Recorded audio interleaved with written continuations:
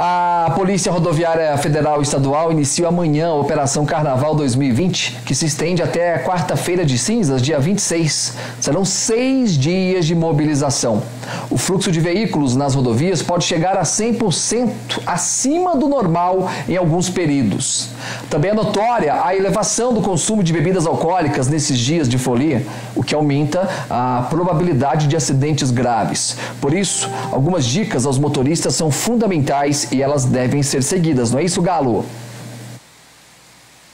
Durante o feriado prolongado do Carnaval, tanto a Polícia Rodoviária Federal quanto a Polícia Militar Rodoviária desenvolvem operações específicas que se iniciam a zero hora desta sexta-feira e vão até a próxima quarta-feira em toda a região. Então, com todo o efetivo empenhado, alguns colegas serão canceladas as folgas nesses, nesses intervalos e serão redobrado o efetivo.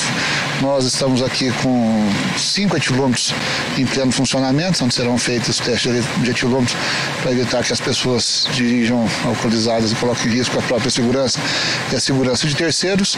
E também fazendo fiscalizações, que é um período de muita chuva, com relação a, aos pneus dos veículos, para ver se estão em boas condições, e os demais equipamentos obrigatórios de, de segurança. Da mesma forma, a Polícia Militar Rodoviária desempenha esse serviço durante os dias de carnaval e, inclusive, com o empenho de todo o administrativo da corporação. As operações serão intensificadas. É, todo o efetivo que nós temos disponível, inclusive o efetivo das administrações, serão é, realocados para o serviço operacional, para as fiscalizações diretamente nas rodovias. E aí a gente vai fazer aquele trabalho de, de costume, né? De é, oferecer uma, uma, uma condição mais segura para o trânsito dos condutores, para os usuários da vias eh, e também fazer aquela, aquele trabalho de fiscalização mais intenso. Por parte da PM, um dos principais objetivos até o combate da embriaguez ao volante. As ultrapassagens forçadas, né, a desobediência à sinalização de trânsito de uma forma geral, eh, a condução de veículos por pessoas embriagadas, essas são ah, umas das principais é, é, ações né, que, que nós vamos focar com o objetivo de impedir que essas coisas aconteçam ou pelo menos que diminuam sua incidência no trânsito é, de forma a propiciar um, um trânsito mais seguro e um momento de festa, né, todo o período de festa aí de forma mais segura para o cidadão de bem.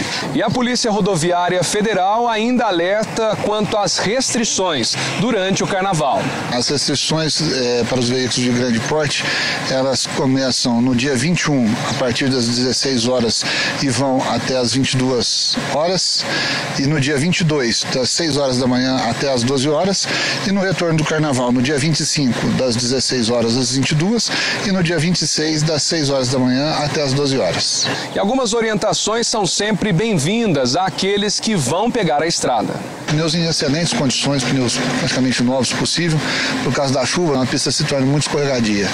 E verificar é, os demais itens de segurança do veículo, respeitar a sinalização, é, não fazer uso de bebida alcoólica se forem dirigir e a cada período de três horas fazer um descanso, uma parada de pelo menos meia hora para poder o corpo se ativar novamente, com menores condições de atenção. E sob qualquer suspeita ou ocorrência, basta entrar em contato com as autoridades. Em caso de acidente, de algum sinistro na estrada, alguma estrada interrompida por algum motivo, por alguma razão, qualquer assunto, enfim, que for de responsabilidade da Polícia Rodoviária Estadual, ele consegue sim fazer o acionamento através do, do tridígito 190.